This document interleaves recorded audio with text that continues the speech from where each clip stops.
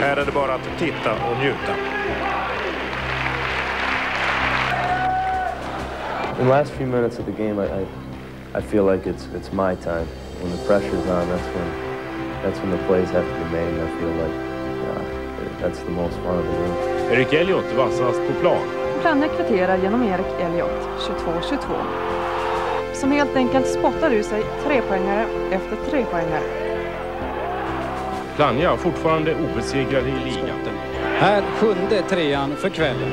Uppsala kämpade och försökte komma ikapp, men det här var Planjas kväll och framförallt Eric Elliots.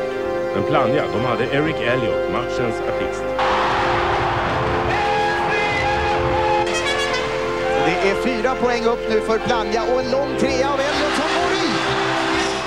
Ja, visst, Plannja anförd av Erik Elliot vinner med 91-78, men det är hårt. Mycket hårt.